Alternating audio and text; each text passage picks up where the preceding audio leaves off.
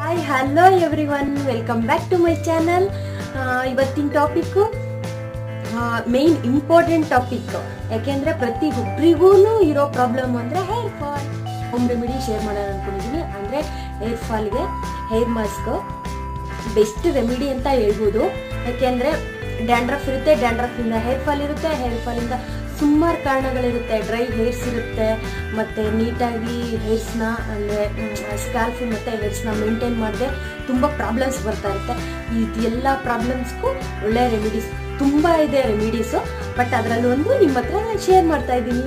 ತುಂಬ effective remedy ಅಂತ ಹೇಳ್ಬೋದು. ನೋಡೋಣ, ನಿಮ್ಗೆ ಹೇಗೆ ಅನ್ನಿಸ್ತು ಅಂತ ನನಗೆ ಲಾಸ್ಟಲ್ಲಿ ದಯವಿಟ್ಟು ತಿಳಿಸಿ. ರೆಮಿಡಿ ಅಂತ ಹೇಳ್ಬೋದು. ಸೊ ಟಾಪಿಕ್ ಹೋಗೋಣ.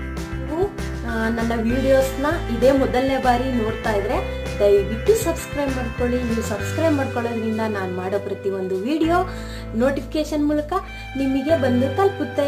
ಓಕೆ ಸಬ್ಸ್ಕ್ರೈಬ್ ಮಾಡಿದ ನಂತರ ಪಕ್ಕದಲ್ಲೇ ಇರೋ ಬೆಲ್ಲೈಕನ್ನ ಕ್ಲಿಕ್ ಮಾಡಿ.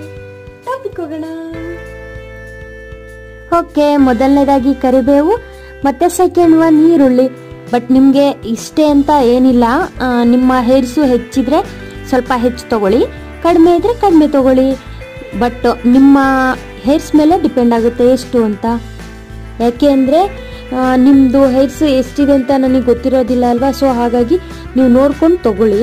ಯಾಕೆಂದರೆ ಸ್ವಲ್ಪ ಹೆಚ್ಚಾದರೂ ಏನು ಪ್ರಾಬ್ಲಮ್ ಇಲ್ಲ.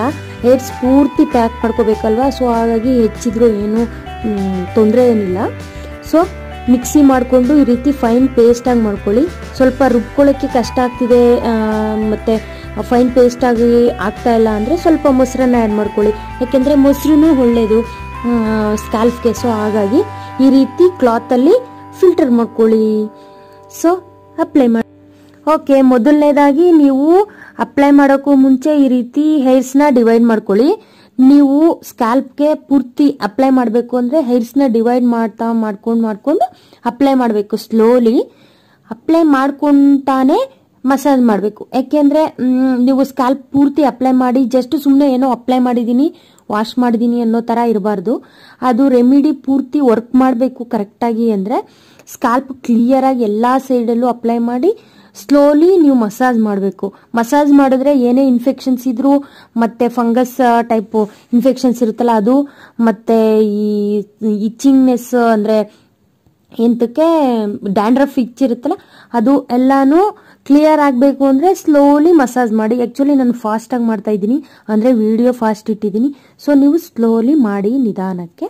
ಓಕೆ ಇದರಲ್ಲಿ ನಾವು ಆ್ಯಕ್ಚುಲಿ ಮೇನ್ ಇಂಗ್ರೀಡಿಯೆಂಟ್ಸ್ ಅಂದರೆ ಎರಡನ್ನ ಯೂಸ್ ಮಾಡಿದ್ದೀವಿ ಅಂದರೆ ಒಂದು ಫಸ್ಟ್ ಕರಿಬೇವು. ಇದು ಆ್ಯಕ್ಚುಲಿ ಡ್ಯಾಮೇಜ್ ಏರನ್ನು ರಿಪೇರ್ ಮಾಡಲಿಕ್ಕೆ ಯೂಸ್ ಆಗುತ್ತೆ.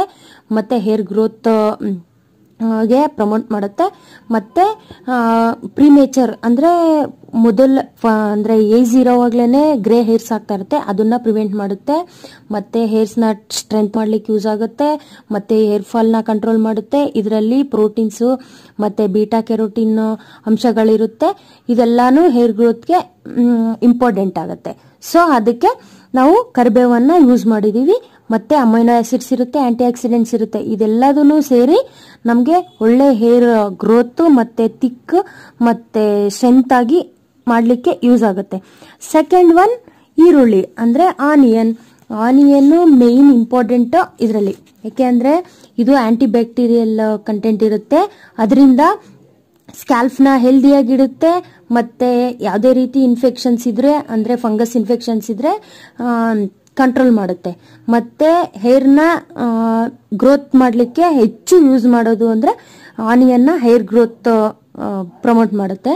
ಮತ್ತೆ ಡ್ಯಾಮೇಜ್ ಹೇರ್ ಇರುತ್ತಲ್ಲ, ಅದನ್ನು ಕಂಟ್ರೋಲ್ ಮಾಡುತ್ತೆ. ಡ್ಯಾಂಡ್ರಫ್ ಮೇನ್ ಡ್ಯಾಂಡ್ರಫ್ನು ಕಂಟ್ರೋಲ್ ಮಾಡುತ್ತೆ. ಮತ್ತೆ ಸ್ಕ್ಯಾಲ್ಫ್ಗೆ ಬ್ಲಡ್ ಸರ್ಕ್ಯುಲೇಟ್ ಹೆಚ್ಚು ಮಾಡುತ್ತೆ. ಅದರಿಂದ ಹೇರ್ ಗ್ರೋತ್ ಚೆನ್ನಾಗಿರುತ್ತೆ. ಸ್ಕ್ಯಾಲ್ಫ್ ಈ ರೆಮಿಡಿ ಇಷ್ಟ ಆಗಿದೆ ಅನ್ಕೋತೀನಿ. ಇಷ್ಟ ಆಗಿದ್ರೆ ದಯವಿಟ್ಟು ಲೈಕ್ ಮಾಡಿ ಶೇರ್ ಮಾಡಿ ಸಬ್ಸ್ಕ್ರೈಬ್ ಮಾಡಿ. Okay thanks bye